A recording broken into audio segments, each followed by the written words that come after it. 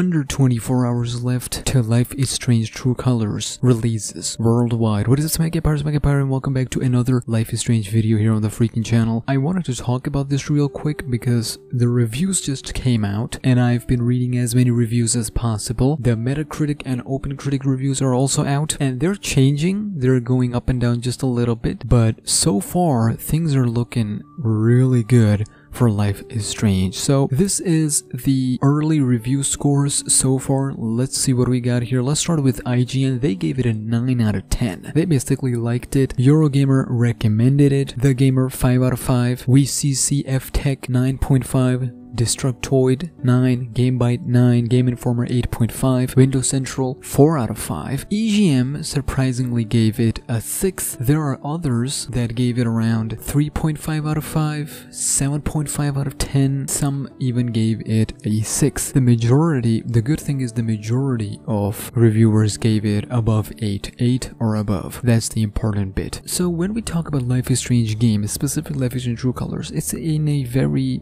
tricky situation here. Not only it's the new developer altogether handling the Life is Strange, but also at the same time it's in a new direction. You got new characters. At the same time, the episodic structure is out of the window, so it's full one game. Oh, by the way, it's a minimum 10 hours game. It can go up to 13 hours depending on how you play it. This game is a tricky because it kind of sets the foot for the future of Life is Strange game and how Square Enix will tackle future Life is Strange games, considering and hoping that Life is Strange 4 is a thing with Max and Chloe, the whole thing can be boiled down into this. It depends from the reviews that I've read, it seems like the Life is Strange fans, the Life is Strange series fan, majority of them will love this game, but it'll still have its cringy dialogues because that is something I've read in so many reviews, which can be a good thing depending on how you look at it. Like some dialogues in Before the Storm, like most of it is, but there were some that could be considered cringy actually worked. So at the end of the day, I feel like it depends on each person. I just hope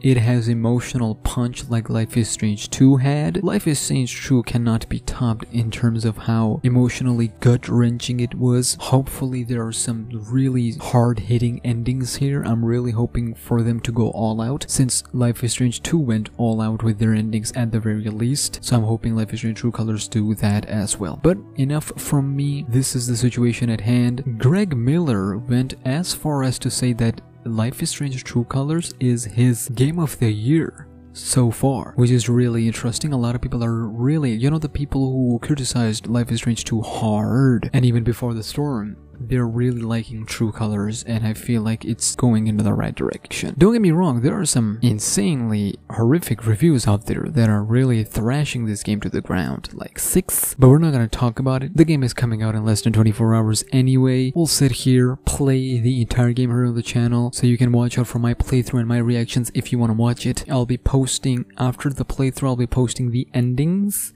reaction, so if you just want to skip to the end, you can get that. Anyways, subscribe, follow me and I'll see you in the next video. Until then, take care and peace.